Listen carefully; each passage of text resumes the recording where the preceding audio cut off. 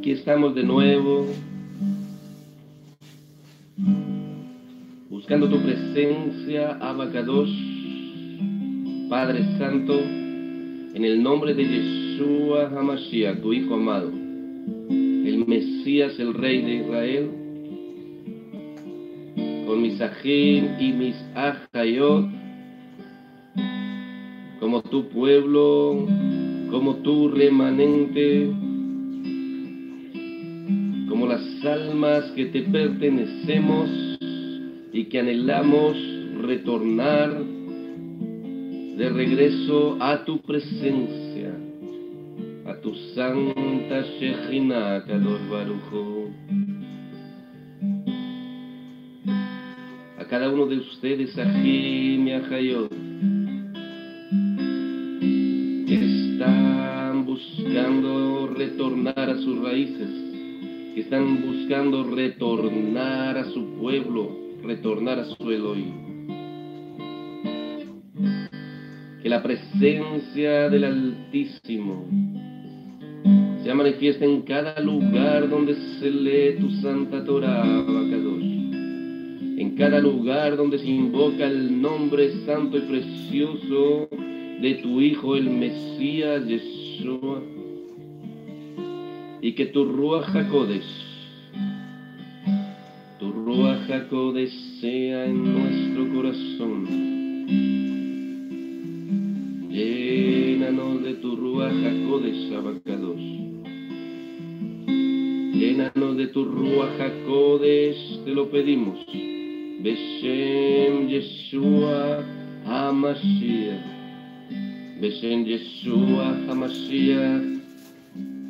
Que seas tú pastoreando nuestras vidas a través de tu Hijo, el Mesías. Que seas tú guiando nuestras vidas y enseñándonos tus mismos.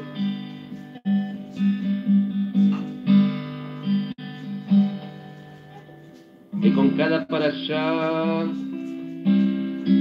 tú nos enseñes buscar tu rostro. Nos enseñes a aprender de las cosas buenas, de los aciertos de nuestros patriarcas, los que fueron tus siervos, y nos ayudes a aprender también de sus desaciertos, de sus errores, para no caer en ellos, y que hables a nuestra vida y podamos tomar enseñanzas aplicables a nuestro diario vivir. Te lo pido en el nombre de Yeshua. Habla a nuestro corazón, Padre Celestial. Y sobre todo ministra tu presencia, tu Shejinah, a cada corazón necesitado, a cada vida necesitada, a cada hijo tuyo que está retornando a sus raíces, a su pueblo, a tu Torah. Aquellos que anhelamos ser tu remanente, buscar esa puerta estrecha y seguir por ese camino angosto, esa puerta que se llama Yeshua. La fe en tu Hijo Yeshua, Bagadosh. Ese camino estrecho que se llama tu Torah, tu. Solos no podemos, solos en nuestras fuerzas desfalleceríamos. Pero tú nos has dado ese corbán.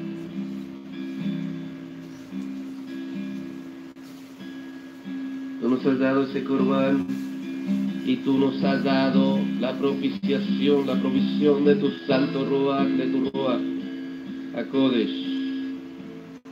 Llénanos de él, por favor. Beshen. Esa paz que sobrepasa todo entendimiento sea en cada lugar donde se escuche esta paracha tuya. Un pequeño aporte que de todo corazón tu siervo da a todos aquellos que están en el mismo camino en que ando yo. Desde acá, desde Israel, para cada uno de ustedes, que la Torah sea lumbrera a vuestros pies, que la fe en Yeshua nunca falte en tus vidas. Seamos dignos de heredar el reino de los cielos a través de aceptar el perdón de nuestros pecados por medio del corbán del sacrificio de Yeshua, en cuyo nombre te pido, Padre, háblanos, háblanos, para allá, Vaigash, Vaigash, y acercóse Yehuda. Esta para allá nosotros la encontramos en el libro de Bereshit, que comúnmente en la diáspora es conocido como el libro de Génesis, capítulo 44, desde el 18, desde el 18 hasta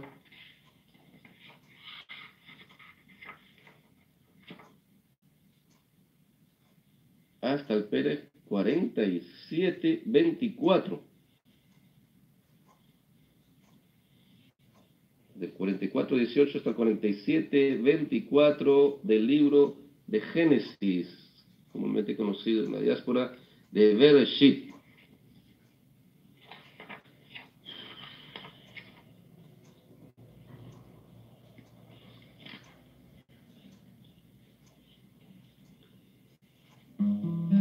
Estamos en esa parte de las parashot, esas lecturas de la Torah, estamos hablando de la historia de Joseph. Aquí ya estamos en lo que se puede decir el desenlace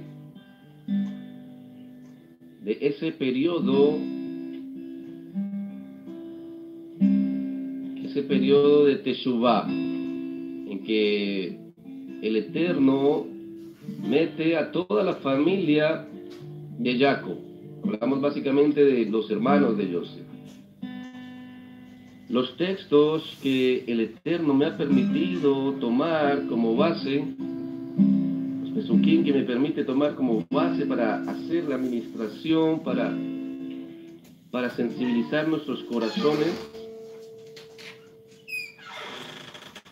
están al inicio en el 33, donde dice,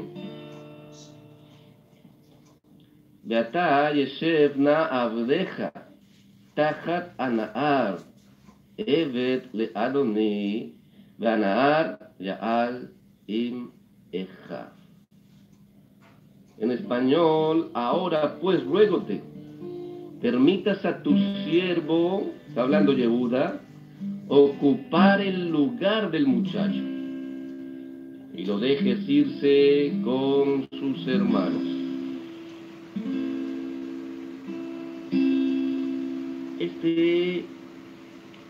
Es la porción que voy a tomar de la bendita Torah del Eterno.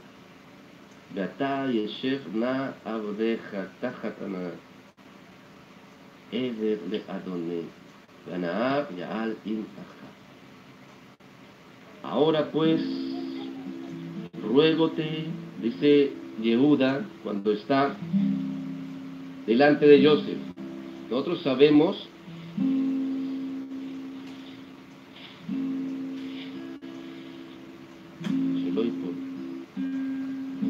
nosotros sabemos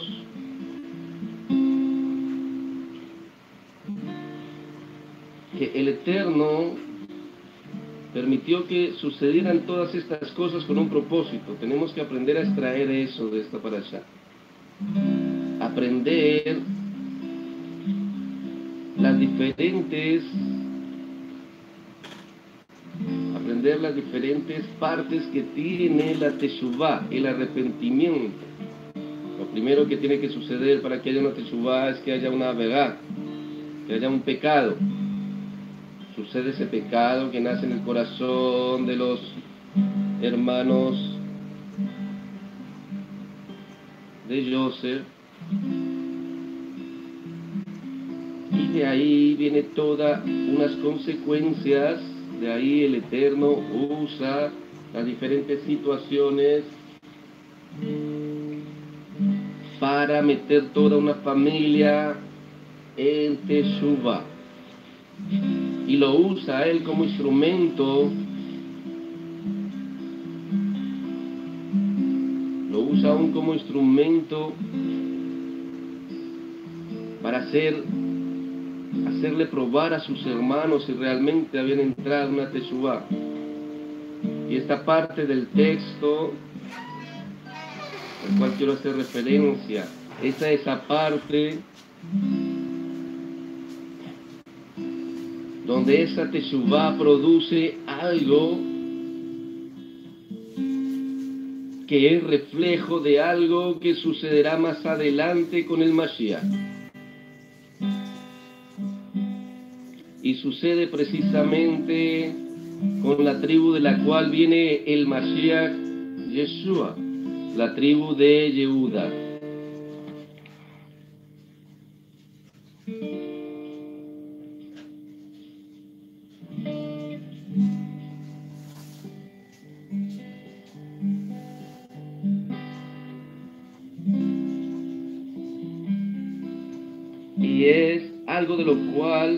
También nos habla el Mashiach Yeshua.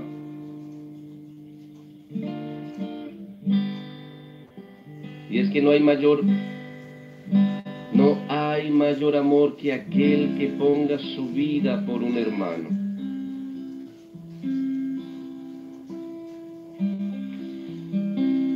En esta prueba, el hermano menor de todos estaba a punto de tener que quedarse esclavo en Egipto, en Israel.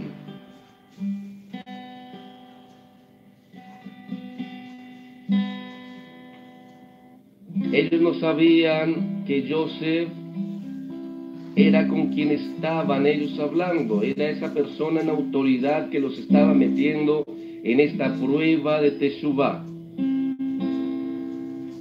Hubo un momento en el cual Yehuda estuvo con sus hermanos y en cierta forma participó de la desaparición de Joseph. En esta oportunidad, el Eterno permite que naciera de su corazón, que brotara de su corazón el sentimiento más noble que puede existir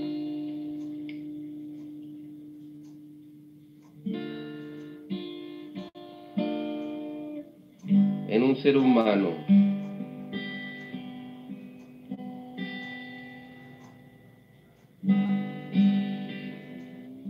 El dar la vida por tu prójimo, el dar la vida por tu hermano. Y es donde él dice, ahora pues, ruégote, permitas a tu siervo ocupar el lugar del muchacho y lo dejes ir con sus hermanos.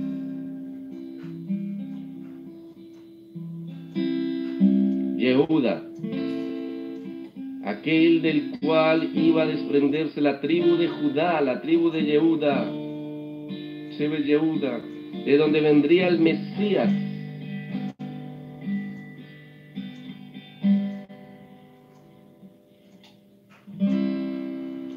Pone su vida en rescate por la de su hermano menor. Ese acto que surge de esta situación es un acto simbólico de lo que el Mesías, muchos años después, iba a hacer por cada uno de nosotros,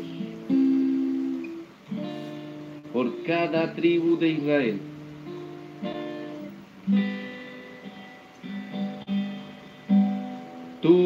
En algún momento,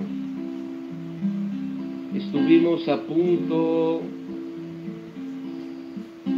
de ser cautivos y de quedar en esclavitud de por vida en Israel. Israel representa esclavitud, representa muerte, pero Yeshua vino.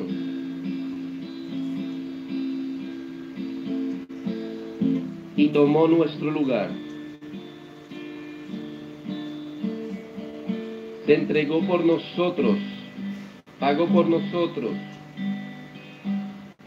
cada uno de nosotros por nuestro pecado, produce un corte, produce un apartamiento de la presencia del Eterno, produce un daño irreparable de alejamiento hacia la oscuridad. Y solamente la teshuva, el arrepentimiento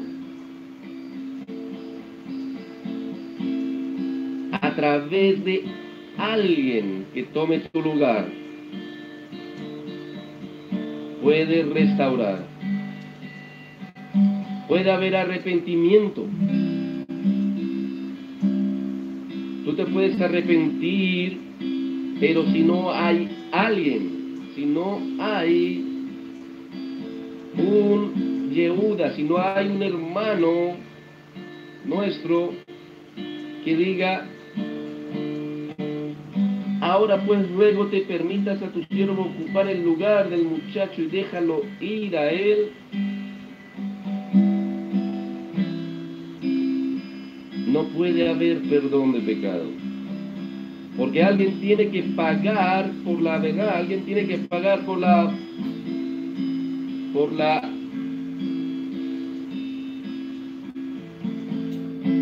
por la, la verdad que se hizo la por la transgresión que se hizo.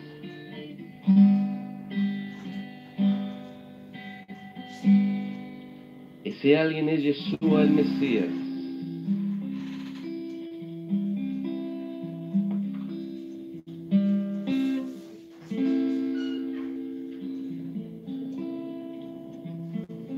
Más adelante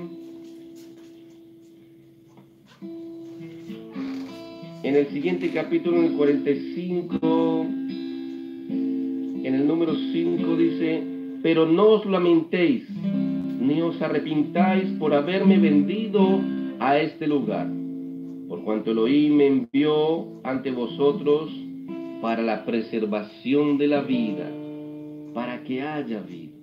Dice, Beata ate atvu beal ijar beinejem Ki mejarten oti ki.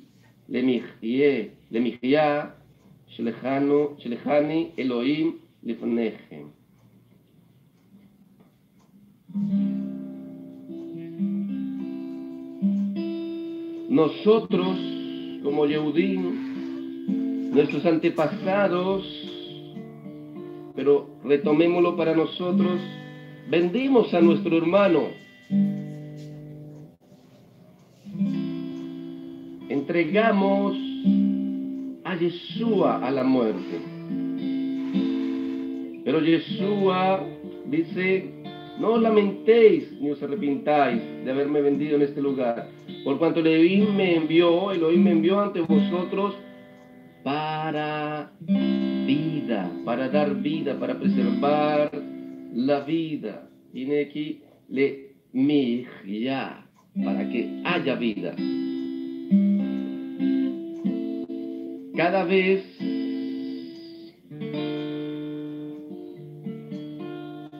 cada vez que nosotros rechazamos el perdón del Padre, cada vez que nosotros rechazamos su corbán, aquel personaje que desde antes de la creación del universo, Él escogió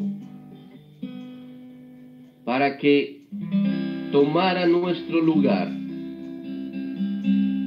para que pagara por nosotros lo que en hebreo llamamos, para que hiciera capará, para que espiara. Cada vez que le damos la espalda a sus mensajes, a las señales que Él en nuestra vida hace, estamos vendiendo. Estamos repitiendo la misma escena que cuando nosotros como judíos apartamos nuestro rostro de Él y no le creímos y preferimos fuera muerto y alejarnos en nuestras religiones, rituales filosofías. Pero ahora estamos viviendo un tiempo, un tiempo donde el Padre está llamando a cada uno a retornar, a retornar a sus raíces, a retornar a su esencia, a retornar a su Torah, no a una religión, porque hoy en día estamos saturados de religiones, estamos saturados de maestros, de eruditos,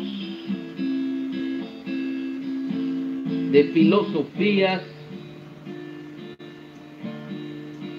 teorías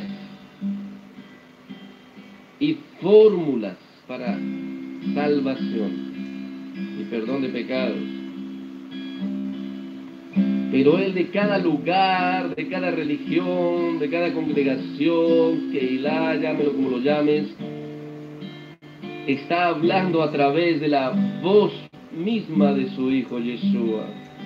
Y nos está llamando a salir de allí. Nos está llamando a hacer Teshuvah como Yehuda hizo Teshuvah ahí. Nos está llamando a seguir su ejemplo, a poner nuestra vida por nuestro hermano. Bueno, ese nivel es bien alto. ¿Qué tal no poner nuestra vida? No vayamos hasta allá. Pero nuestro mejor esfuerzo, ¿qué tal invitarlo a Shabbat? ¿Qué tal invitarlo a que conozca la Torah? ¿Qué tal invitarle a que se arrepienta, a que nos arrepintamos juntos? ¿Qué tal invitarle a que conozca el Mesías Yeshua? Es ese que tomó nuestro, tomó nuestro lugar para que nosotros fuéramos perdonados y no lleváramos las consecuencias del pecado. Ahora pues ruego te permita a tu siervo ocupar el lugar del muchacho. Esas mismas palabras que, produje, pronunció Yehuda, esas mismas palabras muchos años después, Yeshua las cumplió en el madero en Jerusalén. Y él dijo, Padre, perdónalos porque no saben lo que hacen. Entregó por nosotros para tomar tu lugar y el mío. En esta reflexión de hoy quiero invitarnos a que no olvidemos que hay alguien que quiere tocar, tomar nuestro lugar.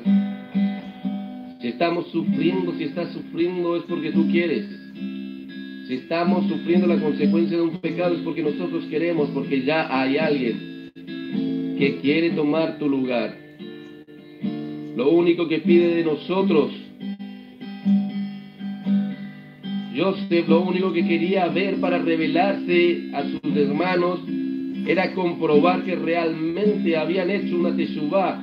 Asimismo, Yeshua, para revelarse a tu vida, para revelarse a nuestra vida, lo único que quiere ver en nuestros corazones y en nuestros actos es que realmente nosotros hayamos aprendido la lección y nos hayamos vuelto en Teshuvah.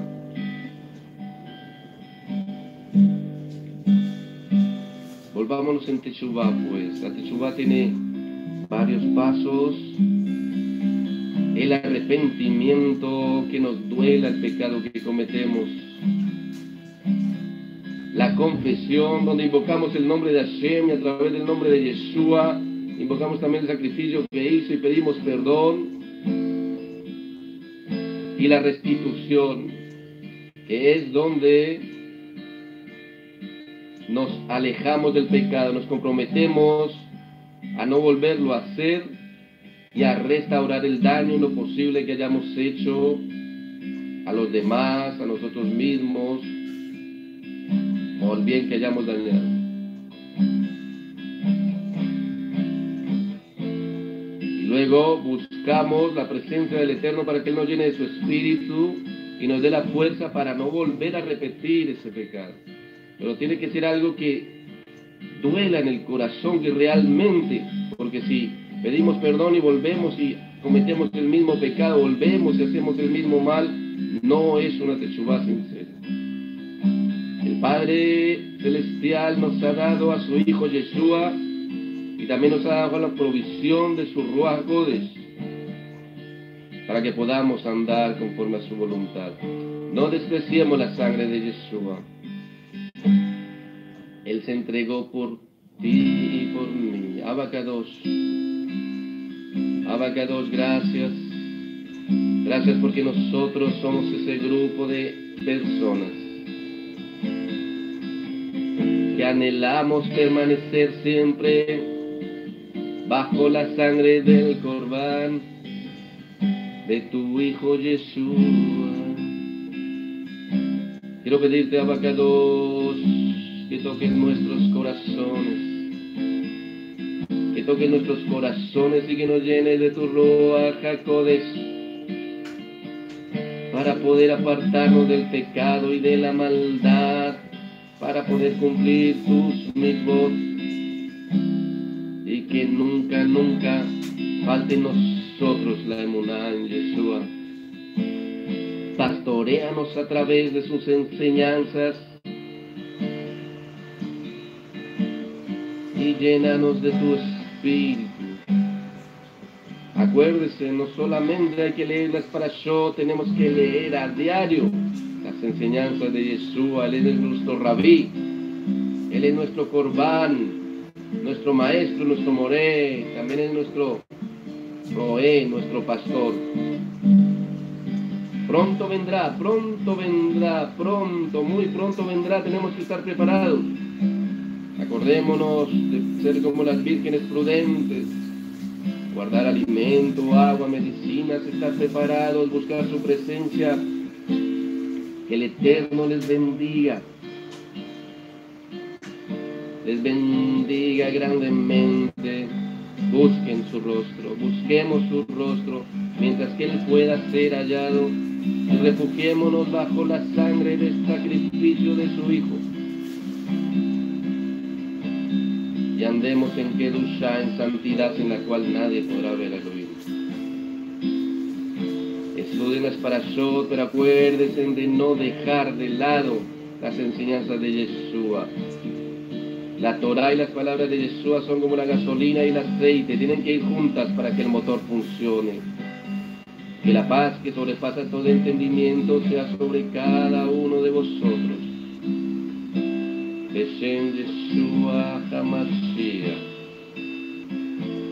Beshem Yeshua HaMashiach Abakedosh.